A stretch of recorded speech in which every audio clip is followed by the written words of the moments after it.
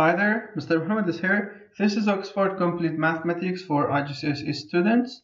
Unit 7.3 is about the form y equals mx plus c. In some books, this form is called the standard form of a linear equation, y equals mx plus c. And in this form, always m is the gradient. The, this number is called the coefficient of x. It means the number which is right in front of the x. So this number is the gradient and this constant, which is the number alone, this number is the y-intercept. Y-intercept means the place where the graph of the equation crosses the y-axis. So here, this point is the y-intercept for this equation. Now look at this equation, y equals 2x plus 3. The gradient for this equation is the number right before the x, which is 2. Gradient is equal to 2. And the y-intercept is y-intercept is equal to 3. Y-intercept is the place where the graph of the equation crosses y-axis. This is a very good worked example. You can check it out on your book. And then as we go along with the exercises, I'm going to give you some more hints and tips. Then question one, it looks so simple. Whenever you see y alone on a side, it means the equation is ready. It's in the standard form. All you have to do just just write the number in front of x is the gradient and this constant is the y-intercept. So here in question 1, I don't see any number in front of x. I don't see any number here. So whenever you see x all alone like this, it means the gradient is positive 1. It means the number in front of x is positive 1. So here the gradient is positive 1 and for positives, it's fine if we don't write the positive sign. But for negatives, we must write. The gradient is 1. And the y-intercept, the y-intercept is 3. For question 2, the gradient is 1 because x is all alone. It means the coefficient of x is positive 1. So for question 2, gradient is 1. And y-intercept y-intercept is negative 2. Question 3, gradient is 3 and y-intercept is 1. Y-intercept means the place where the graph of this line crosses y-axis. Question 4, the gradient is 2 and the y-intercept is negative 5. Question 5. The gradient is 3 and the y-intercept is 4. Question 6. The gradient is 1 over 2 and the y-intercept is 6. So it's going same way with question 7. With question 8, the gradient normally is 2, but there is no any y-intercept. No, it's not like this. There is no any number. Since there is no any number, it means there is a hidden plus 0. So here is a plus 0. That's why it's not mentioned. When you see no constant in a linear equation, it means the y-intercept is 0. So the graph of this line crosses y-axis in the origin, in the 0, 0. So y-intercept is 0. Question 9, the gradient is 1 over 4. And the y-intercept is negative 4. Here, we have negative x. Negative x means the gradient is negative 1. And the y-intercept is positive 3. Here, always the number in front of x is the gradient, so it doesn't matter. It came in the first or the second. What is the gradient? Negative 2. So gradient is negative 2 and y-intercept is the 6 is positive, so the y-intercept is positive 6. Question 12.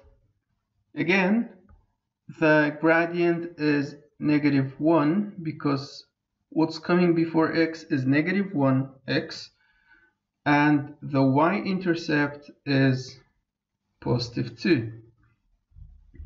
Question 13. Question 13 is not written in the standard form. We don't have y alone on a side. Then we have to make it standard. Then find the gradient and the y-intercept. Question 13, I'm going to do it here. y plus 2x equals 3. How can we have y alone on a side? If we send this 2x to the other side. In other words, if we say minus 2x to both sides, and it will be like this. y equals 3 minus 2x.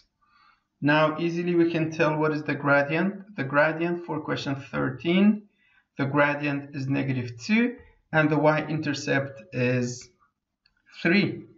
Gradient is negative 2. Y-intercept is equal to 3. This is for question 13. Question 14, again, it's not in the standard form. Then we have to write it in the standard form.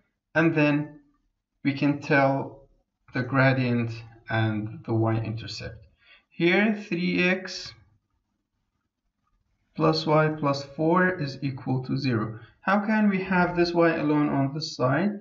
If we send the other two numbers to the other side, and when they go to the other side, the sign, their signs will be changed. So here, y stays here. The 3x will be negative 3x, and the positive 4 will be negative 4. Now the gradient is negative 3, and the y-intercept for question 14 is negative 4.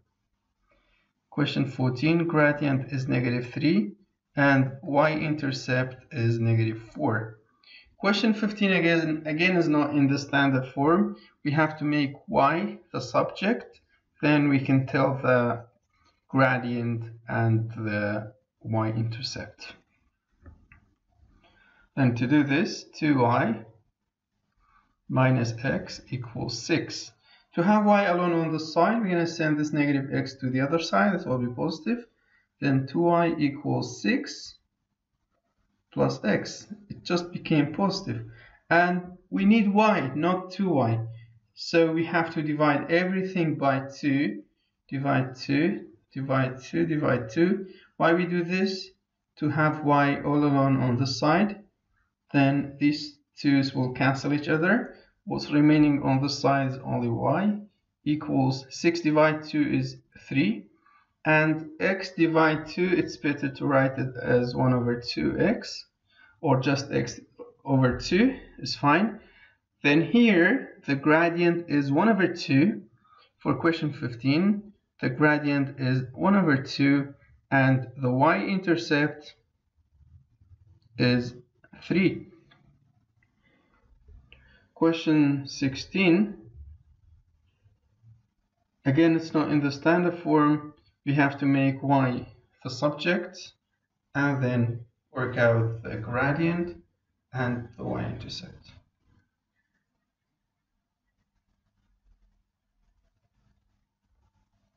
So just like the last two questions, we have to organize the equation, then see the gradient and the y-intercept. 3y plus x minus 9 equals 0. Then keep the 3y on the side equals this is positive x will be negative x and this is negative 9 will be positive 9 but we don't need 3y we need only y. We have to divide everything by 3 then it looks like this. 3y divided 3 is just y equals negative 1 over 3x plus 9 divided 3 is 3. So for question 16, the gradient is negative 1 over 3 and the y-intercept is 3.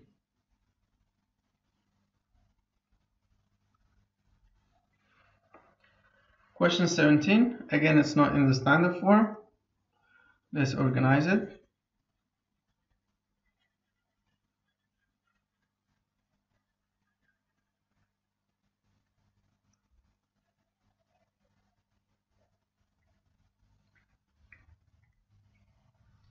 Four x minus y is equal to 5.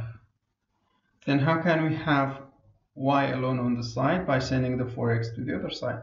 What's remaining here is negative y because the negative y stays on its side. That's why the sign will not change. 4x is positive, so it will, it will be negative. 5 minus 4x. What happened, only the 4x went to the other side, so only the 4x was positive, became negative. The 5 is the same, negative y is the same. Now, it doesn't look like the standard form because this y is negative, where we need a positive y, y all alone on a side. So, whenever you need to get rid of a negative, you have to multiply everything by negative 1. So, this will remove the negative that you want to get rid of. Now, negative y times negative 1 it will be positive y equals 5 times negative 1 will be negative 5. Negative 4x times negative 1 will be positive 4x. Now the gradient of question 17, the gradient is 4 and the y-intercept is negative 5. Question 18, 3x minus 2y equals 8. Then guess what should we do first? We have to send the 3x to the other side. And then how can we get rid of this negative? By multiplying everything by negative 1. How can we get rid of this 2? By dividing everything by 2. So let's just write what we said. 3x minus 2y equals 8. Then the 3x will go to the other side, it will be negative. Then what's remaining is negative 2y equals 8 minus 3x. Then how can we get rid of this negative? If we multiply everything by negative 1 and then divide everything by 2. So we can say divide everything by negative 2 so straight away we can remove this negative 2 or you can do it in the ordinary way. Multiply everything by negative 1 you will have 2y equals negative 8 plus 3x then divide everything by 2 to get rid of the 2 or you can do all, all in one. Divide both sides by negative 2 then that's how it looks Negative 2 will cancel negative 2. What's remaining here is only y equals 8 divided by negative 2 will be negative 4. Negative 3x divided by negative 2, negative negative will be positive. 3 over 2x. So for question 18, the gradient is 3 over 2. The gradient is 3 over 2 and the y-intercept is negative 4. Question 19. So, can you solve it mentally? Think. We have to send the 10x to the other side, it will be negative. Then, to remove this negative in front of the y, we have to multiply everything by negative 1. So can you tell what's the gradient? If your answer is 10, so it means you got it. 10x minus y is equal to 0. Then this 10x will go to the other side. It will be negative. Then negative y is equal to negative 10x. Now to remove this negative here, we multiply everything by negative 1.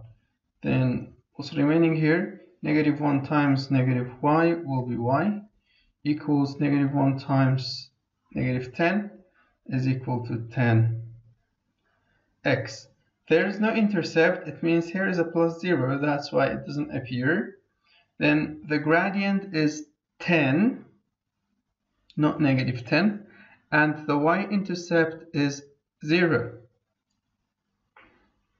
Good. The last question in this set is question 20. y minus 4 is equal to 0. So how can we deal with this equation while it has no any x in it? How can we find the gradient? y minus 4 equals 0. To have y alone on the side, we see y is equal to 4. Then what is the gradient? Simply y is equal to 4 is a horizontal line passing through 4 on y-axis and the gradient of any horizontal line is 0 or just look at the equation since there is no any x it means here is a plus 0 times x in the equation. But since it's 0 that's why it's not mentioned. Then do you see the gradient? The gradient is 0 I told you the reason. And this is the algebraic way. The y-intercept is positive 4 as it's here. Done I hope you find it easy. Comment below whatever question you have. Thank you for watching